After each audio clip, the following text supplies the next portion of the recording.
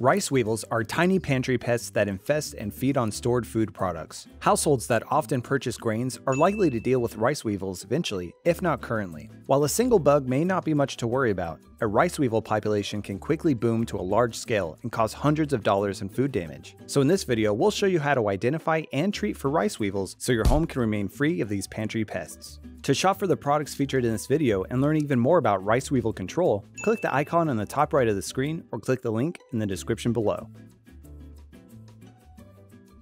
The first thing you should do in any pest control plan is identify what exactly you're dealing with. Careless identification can lead to wrong treatment methods, costing you time and money. Even though they're called rice weevils, they don't exclusively feed on and harbor in rice. They can also be found in other grains, cereals, and dry pasta. Rice weevils are smaller than even grains of rice, growing only to be as large as 3 to 4.6 millimeters in length. They have dark brown bodies, and you may even notice some lighter brown patches if you can see them close up enough. You can tell a weevil apart from other pests like grain beetles because you'll notice the weevil's long snout. It's hard to miss, even if they're that small. You'll most likely only spot adult rice weevils rather than any eggs, larvae, or pupae. After mating, a female weevil will deposit one egg into one grain, seal up whatever holes she's made, and then move on to the next grain. She'll repeat this process until she has laid about 300 to 400 eggs. Though only half of all rice weevil eggs hatch, this is how a large-scale infestation can easily occur. Inspection is the next phase of any good pest control plan. Once you know what your pests look like, check around your property to confirm their presence or find hot spots of activity.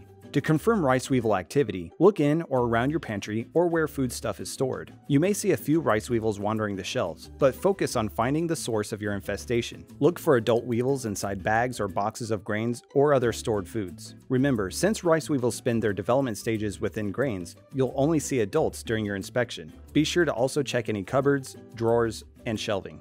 If you're wondering how you got rice weevils in the first place, the most likely reason is that you bought infested food from the grocery store and then brought them in. Most of the time, that bag of flour or rice you just bought was harboring these pests. Even if you didn't see the adults crawling around, the eggs and larvae could be in there, going unnoticed.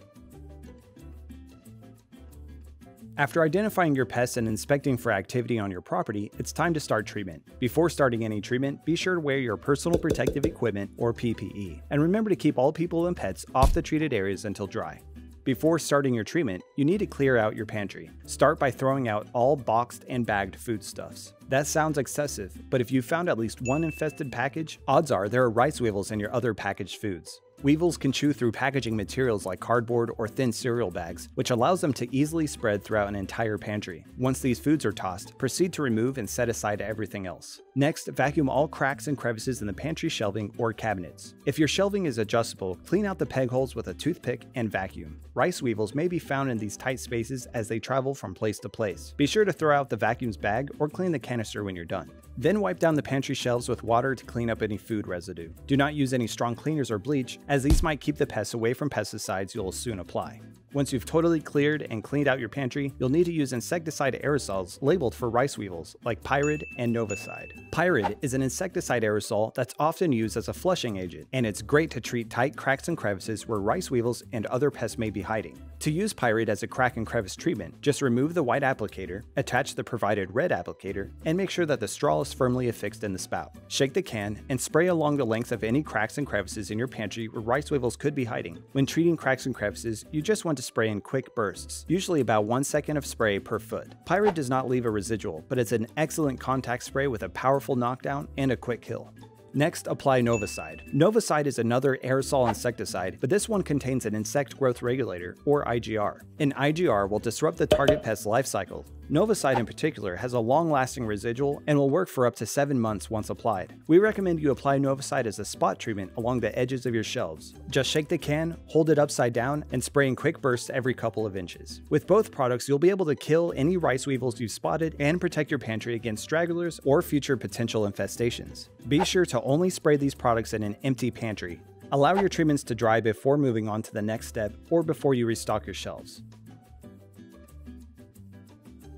Prevention is essential to keeping pests in check. Even after you've applied pesticides, the best way to stop pest activity is to make sure it can't happen again. While Novacide's long residual and insect growth regulator will protect your pantry for up to 7 months, employ these other tips to prevent infestations in the future. If you can, buy only about a week or two's worth of food at a time. Try not to overstock your pantry shelves, because the longer something sits there, the more likely a potential infestation could break out. When buying dry foods at the grocery store, take a look at the packaging. If you can see the product, try to look for any rice weevils or other pests. If you see any holes, rips, tears, or other openings, then it's an obvious indicator to pass that item up. And when storing food, it's best to keep it in tight fitting or sealed containers. Put cereals, rice, and flour in containers that can be air sealed. Even plastic Tupperware can help. This is especially true for dry pet food. Pet food and birdseed are often overlooked and extremely conducive for pantry pests, so it's important to store your pet food in a sealed container.